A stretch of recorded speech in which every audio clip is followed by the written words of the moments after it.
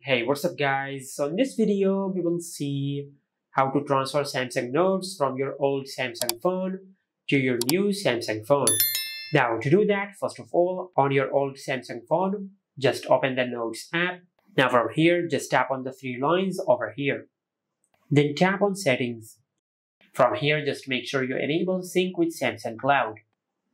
Now from here, you can either select sync with Wi-Fi only, or you can enable syncing with Wi-Fi or with your mobile data. Now just select any one of them, then tap on done. Now after you do that, now on your new Samsung phone, first of all, just make sure that you sign in with the same Samsung account as your old Samsung phone. After you sign in with your Samsung account, then open the Notes app on your new Samsung phone, then tap on the three lines over here. Then tap on settings. And from here, just make sure you enable sync with Samsung Cloud. Now either select Wi-Fi only or Wi-Fi and mobile data. I will select Wi-Fi only, then tap on done. And once you do that, you will sync the notes from your old Samsung phone to your new Samsung phone.